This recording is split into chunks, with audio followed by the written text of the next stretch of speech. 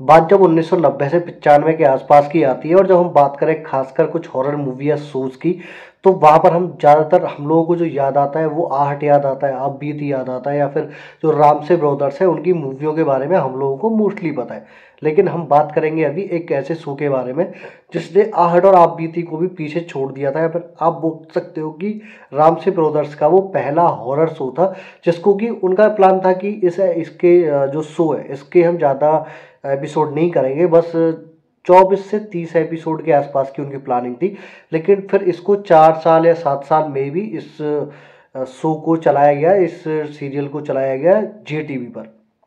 पहले अगर बात करें हम नाइन्टीज़ के दशक में बहुत सारे ऐसे शो थे जिनको कि बच्चे नहीं देख पाते थे। ये फिर एक ऐसा शो निकल के आया, लगभग लगभग उन्नीस सौ तिरानवे से पचानवे के आसपास, जिसका नाम था जी हॉरर शो। इसको देखने के बाद आप बोल सकते हो कि एक बार को जो बड़े बड़े मतलब जो बड़े बच्चे थे, उनकी भी सिट्टी पिट्टी गुल हो जाती थी। लेकिन अगर बात करें हम ऐसे शो के बारे में तो वो जो नाइन्टीज़ वाले आज की डेट के यंग एजर जो लड़के हैं, उनको मोस्टली क्या है, वो जो सारी चीज़ें उनके जहन में दोबारा से आ जाती है। उनको पता था कि उस टाइम पे हम लोगों को क्या क्या देखने को मिला था, जो कि एक तरीके से आप बोल सकते हो, वो वाला टाइम एक मास्टर मास्टर पीस मूवी और मास्टर पीस सीरियल्स का एक टाइम था। जी हॉर शो के ऊपर कई सारी एफआईआर हुई थी उस टाइम पर, क्योंकि कुछ लोगों का मानना था कि ये जो शो है, ये अंधविश्वास को बढ़ावा देता है।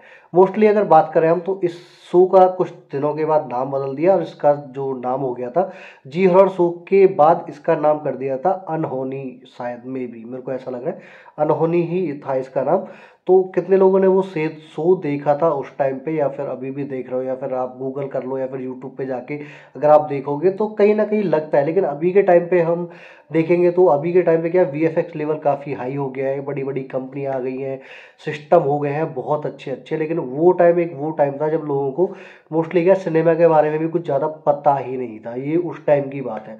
अभी के लिए, आज के लिए इस वीडियो में इतना ही। मिलते हैं बहुत जल्द एक नई वीडियो में, नए टॉपिक के साथ। तब तक के लिए बाय